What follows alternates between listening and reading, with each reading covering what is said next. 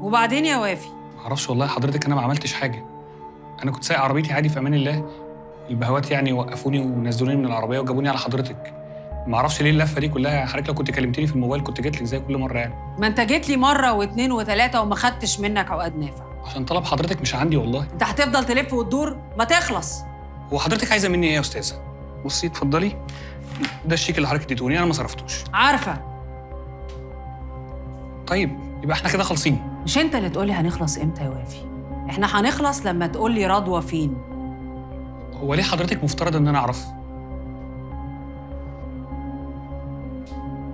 استخدمت معاك كل الطرق بالمحايله التفاوض الفلوس ومفيش حاجة نافعة معاك. انت اللي هتضطريني أتصرف معاك بطريقة مش هتعجبك خالص. أكيد حضرتك مش هتعملي كده يعني. حضرتك أستاذة قانون يعني ومعروف.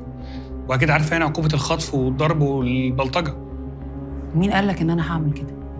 هما الرجالة اللي واقفين معانا دول واقفين ليه؟ هسألك للمرة الأخيرة.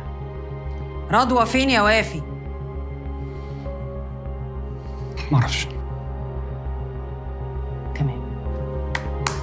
أنا هخليك تتكلم.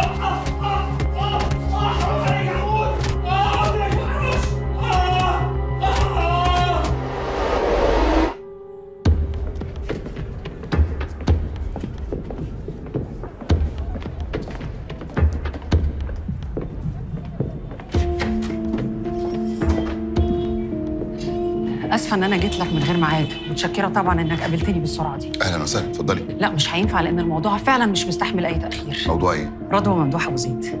مالها عرفت مكانها وجيت أبلغ سيادتك فورا. وعرفتي مكانها منين؟ لا مش مهم. المهم تروحوا تلحقوها قبل ما تهرب تاني ونبقى ما عملناش أي حاجة.